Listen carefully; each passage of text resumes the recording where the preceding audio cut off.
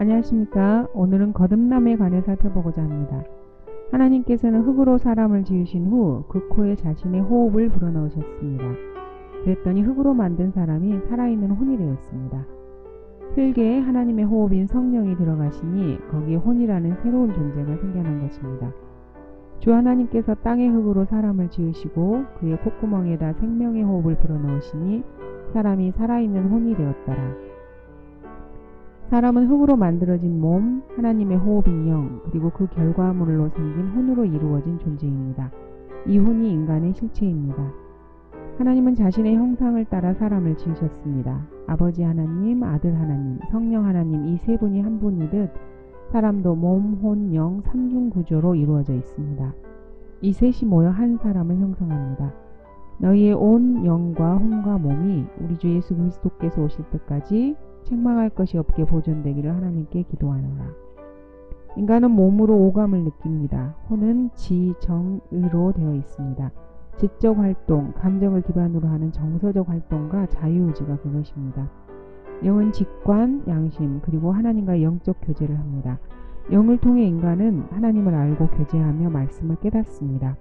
처음 지음받을 때 인간의 몸과 혼과 영은 아무런 문제가 없었습니다. 모두가 잘 작동하였습니다. 그러나 인간이 범죄하였을 때 인간의 영은 죽었습니다. 하나님께서는 성과 악의 지식의 나무에서 나는 것을 먹지 말라. 내가 거기서 나는 것을 먹는 날에는 반드시 죽으리라고 말씀하셨습니다. 그러나 아담은 범죄한 후에도 계속 살아 있었고 930세에 죽었습니다. 하나님께서는 먹는 날에 반드시 죽으리라고 하셨습니다. 먹고 나서 930년 후에 죽는다고 말씀하지 않으셨습니다. 아담이 나무 열매를 먹었을 때 그 즉시 영이 죽은 것입니다. 그리고 그 몸에는 죄가 들어왔습니다. 아담 이후에 태어난 모든 인간은 영이 죽은 채로 태어납니다. 영이 죽었다는 말은 인간에게 영이 없다는 말이 아니라 영이 원래 목적한 기능을 하지 못한다는 뜻입니다. 죽은 영을 가진 인간은 하나님을 알 수도 없고 깨달을 수도 없으며 하나님과 교제할 수 없습니다. 고장난 기계가 작동을 하지 못하지만 여전히 존재하는 것과 같습니다. 영은 있으나 원래의 기능을 하지 못하는 죽은 영입니다. 이 영이 다시 태어나는 것이 거듭남입니다. 그러나 자연인은 하나님의 영의 일들을 받아들이지 아니하나니 이는 그 일들이 그 사람에게는 어리석게 여겨지기 때문이요 또 알 수도 없나니 이는 그 일들이 영적으로만이 분별되기 때문입니다. 여기서 자연인은 어머니 뱃속에서 물로 한번 태어난 인간을 말합니다. 거듭나지 않은 사람은 하나님의 영의 일들을 받아들이지 못합니다. 말씀을 깨닫게 해주시는 분은 성령님이시기 때문입니다. 예수님께서는 너희는 거듭나야만 한다고 말씀하셨습니다. 모든 인간은 거듭나야 합니다. 죽은 영이 다시 태어나야 합니다. 예수께서 대답하시기를 진실로 진실로 내가 너희에게 말하노니 사람이 물과 성령으로 태어나지 아니하면 하나님의 나라에 들어갈 수 없느니라. 육신으로 난 것은 육이요 또 성령으로 난 것은 영입니다. 내가 너에게 너희는 거듭나야만 한다고 말한 것을 이상히 여기지 말라. 바람이 임의로 불어서 내가 그 소리를 들어도 어디서 와서 어디로 가는지 알지 못하듯이 성령으로 난 사람은 모두 그와 같으니라고 하시더라. 사람이 처음 태어날 때 물속에서 나옵니다. 태아는 양수 속에서 삽니다.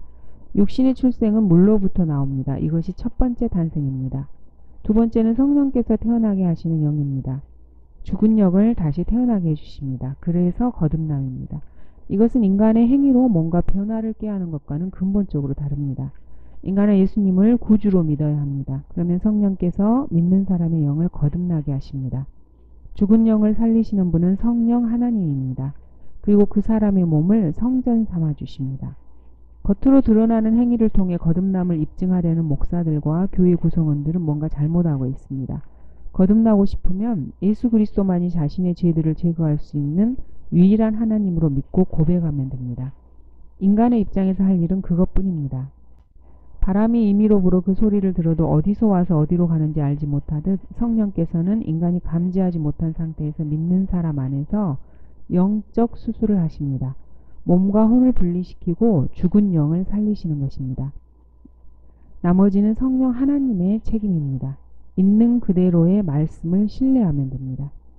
예수님께서는 요한복음 3장에서 거듭남에 대해 말씀하시다가 14절과 15절에서 이렇게 말씀하십니다. 모세가 광야에서 뱀을 들어 올린 것 같이 인자도 그렇게 들을려 올려져야만 하리니 이는 그를 믿는 사람은 누구든지 멸망하지 않고 영생을 얻게 하려 함이니라. 거듭남과 관련된 문맥에서 예수님께서는 십자가에서 죽으실 것을 말씀하시고 그런 예수님을 믿으면 영생을 얻는다고 말씀하십니다. 하나님께서 세상을 이처럼 사랑하셔서 그의 독생자를 주셨으니 이는 그를 믿는 사람은 누구든지 멸망하지 않고 영생을 얻게 하려 하심이니라. 하나님께서 자기 아들을 세상에 보내신 것은 세상을 정죄하려 하심이 아니요 그를 통하여 세상이 구원받게 하려 하심이라. 아들을 믿는 사람은 정죄를 받지 아니하나 믿지 않는 사람은 이미 정죄를 받은 것이라. 이는 그 사람이 하나님의 독생자의 이름을 믿지 않았기 때문이라. 십자가의 죽으심과 장사되심과 부활 이후에야 인간이 거듭날 수 있습니다. 구약에는 거듭난 사람은 단 한 사람도 없습니다. 예수님이 죽지 않으셨기 때문입니다. 예수님이 죽으셨다 부활하신 현재 교회 시대에는 누구든지 이 사실을 믿고 예수님을 자신의 구주로 믿으면 성령께서 그 믿는 사람 안에 들어가셔서 그 사람의 죽은 영을 다시 살리십니다. 인간이 예수님을 믿으면 거듭나게 하시는 분은 성령님입니다. 그래서 성령으로 난 사람은 모두 바람이 임의로 불어서 그 소리를 들어도 어디서 와서 어디로 가는지 알지 못하듯이 겉으로 보기에는 잘 구별이 가지 않습니다. 어떤 사람이 거듭났는지는 그 사람 자신과 하나님과 사탄만이 압니다.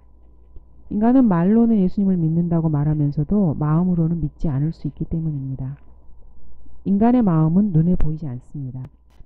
이를 골로새서 2장 11절에서는 그리스도의 할례라고 부릅니다. 또한 너희가 그의 안에서 손으로 하지 아니한 할례를 받았으니 곧 그리스도의 할례로 육신의 죄들의 몸을 벗어버린 것이라.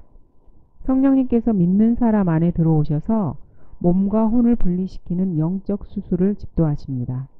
죄에 오염된 몸과 혼을 자르셔서 분리시킵니다. 혼은 이제 다시 태어난 영, 내주하시는 성령님과 연합해서 살아야 합니다. 이를 로마서 7장 4절에서는 이렇게 설명합니다. 나의 형제들아 이런 연유로 너희도 그리스도의 몸으로 인하여 율법에는 죽었나니 이는 너희로 다른 사람 즉 죽은 자들로부터 일으켜지신 그와 혼인하게 하려는 것이요 그리하여 우리로 하나님께 열매를 맺게 하려는 것입니다. 예수님을 믿는 사람은 그 혼이 원래 붙어 있던 몸과 영적 수술을 하고 대신 성령으로 다시 태어난 영과 연합하게 됩니다. 이를 죽은 남편인 몸과 이혼하고 새로운 사람, 즉 예수님과 혼인하는 것으로 묘사하고 있습니다. 복음의 말씀을 믿음으로써 사람은 거듭납니다. 어떤 행위나 생각을 쇄신해서 새롭게 살려고 노력한다고 해서 거듭나는 것이 아닙니다. 거듭나게 하시는 주체는 내가 아니라 성령님입니다. 예수 그리스도의 죽으심과 장사되심과 부활을 있는 그대로 믿고 예수님을 구주로 영접할 때 성령님께서 그 사람 안에 들어오셔서 영적 수술을 통해 몸과 혼을 분리시키고 죽은 영을 살리시는 것입니다. 이것이 성경적 거듭남입니다.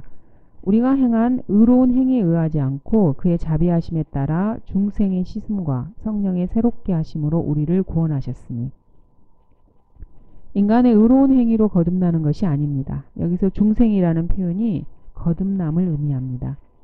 너희가 거듭난 것은 썩어질 씨로 된 것이 아니라 썩지 아니할 씨로 된 것이니 살아있고 영원히 거하는 하나님의 말씀으로 되었다.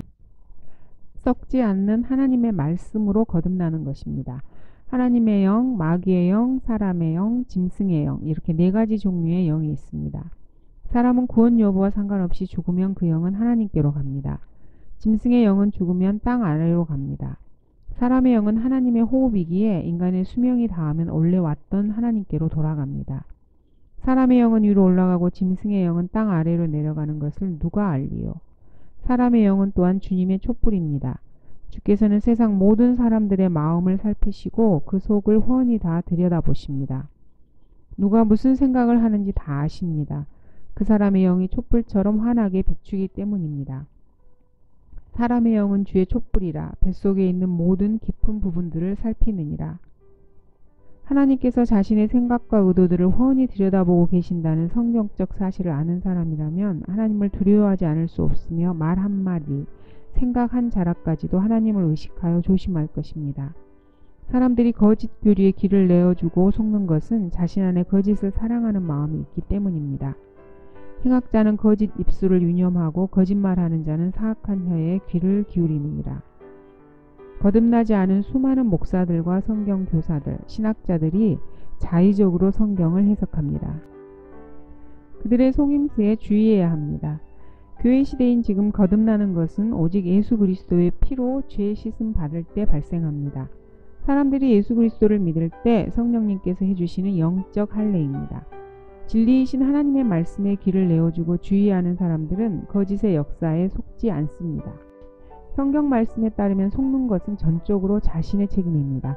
악을 행하는 자는 거짓말에 귀를 내어줍니다. 마음속에 거짓이 있기 때문입니다. 하나님은 모든 사람의 마음을 아십니다. 그분은 사람들의 속과 마음을 살피시는 분입니다.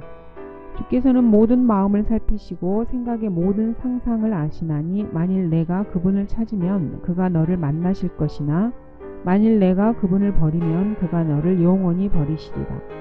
나 주는 마음을 살피고 나는 속을 시험하며 그 사람의 행위와 행실의 결과대로 각 사람에게 주노라. 몇 가지 드러나는 행위로 자신들의 거듭남을 입증하려는 자들은 어리석은 자들입니다. 거듭남의 증거를 행위에서 찾고자 하는 자들도 어리석은 자들입니다. 거듭난 사람은 바람이 임의로 불어 어디서 와서 어디로 가는지 모르듯이 겉으로는 별반 차이가 없습니다. 예수 그리스도께서 십자가에서 죽으시고 장사되신 후 다시 살아나신 것을 믿습니까? 예수 그리스도만이 여러분의 죄들을 제거할 수 있는 유일하신 하나님으로 영접하셨습니까? 그렇다면 여러분은 구원받았고 거듭났습니다. 하나님의 자녀로 다시 태어났습니다.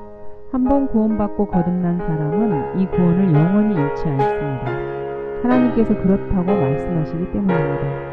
하나님께서 이미 그 사람을 거듭나게 하셨습니다.